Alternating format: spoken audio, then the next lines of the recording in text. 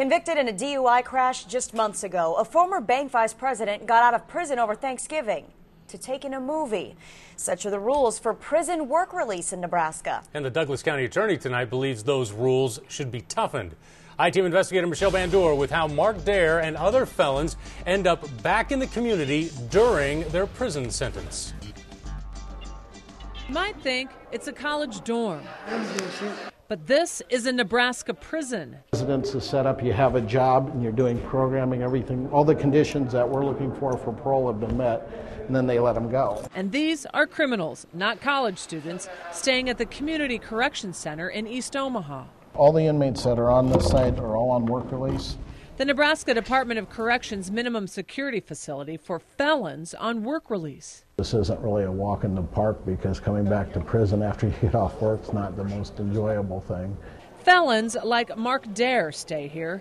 Dahir, arrested seven times for DUI, convicted of felony DUI, sentenced in June to a two to three year prison sentence.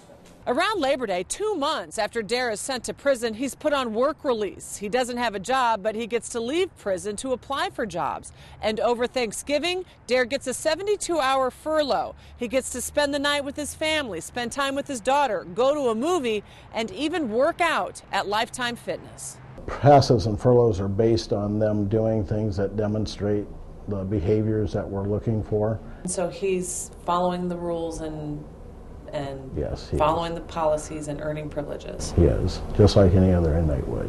When you hear what somebody's at Lifetime Fitness, you know, it really puts into question exactly how the penal, penal part of our system works. Steve Murray is the man Mark Dahir almost killed last February in a near head on collision crash. While high on meth, Dahir slammed right into the father of four who was on his way to work.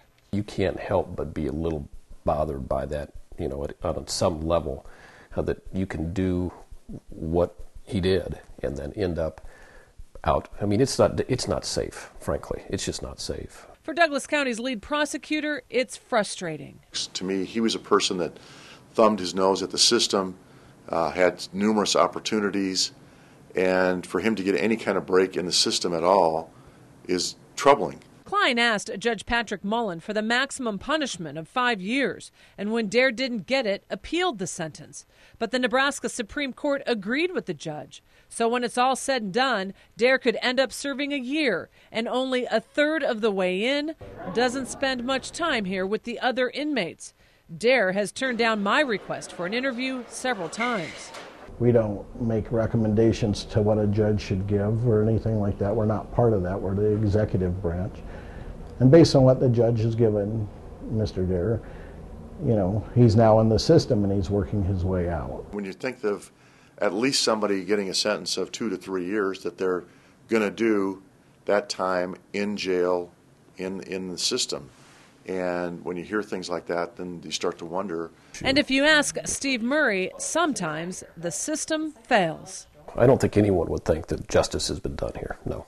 In Omaha, Michelle Bandur, KETV, Newswatch 7. Kleine tells us he wants to discuss this issue with other attorneys, and it's possible they'll ask the legislature to pass some kind of reform. As for Dahir, last month the Nebraska Court of Appeals upheld his two to three year sentence, even though Kleine argued it was too lenient.